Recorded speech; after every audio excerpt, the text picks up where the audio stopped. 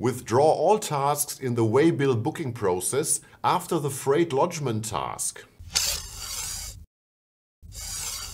Hi, my name is Andreas Hense and this video is part of a series on BPMN and workflow patterns.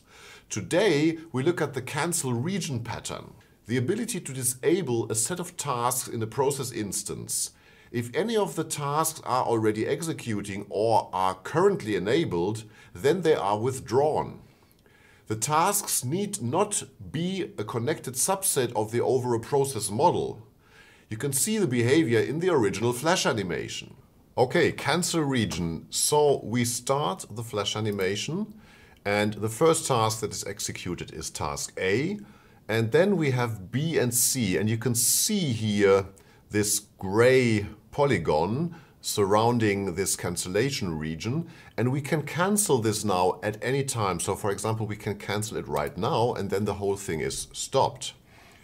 If we go back again and start with A, we can also, for example, complete task C and then there is a token for task E and if we cancel now, the token in task E remains and we can complete E. And of course, any other combination is possible. In BPMN, we can model this using signal boundary events and subprocesses. I have modeled a process in BPMN that is based on the example on the workflow patterns page.